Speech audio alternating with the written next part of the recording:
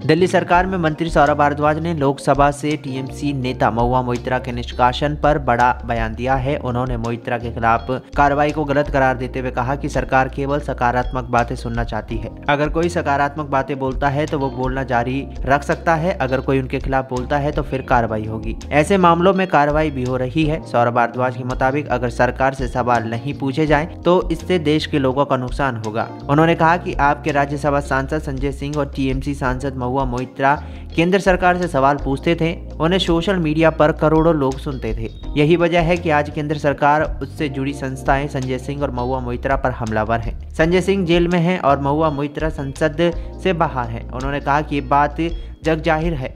किसी से छुपी नहीं कि ये लोग दमदार तरीके से अपनी बात रखते थे। तमाम संस्थाएँ जो देश के अंदर सरकारों की पोल खोलना करती थी, उनकी फील्डिंग रोक दी गई।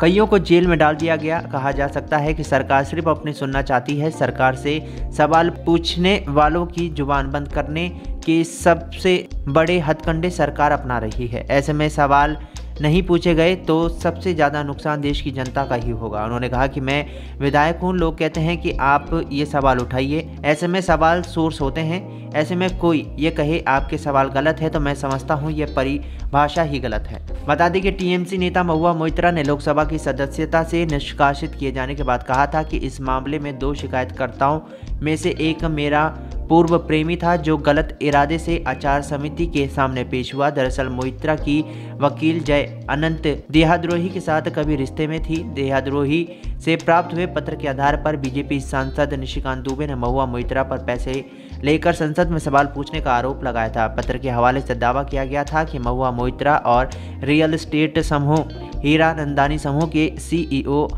दर्शन हीरानंदानी के बीच रुपए के आदान प्रदान के सबूत मिले हैं। इस बात से महुआ मोहित्रा ने इनकार किया था।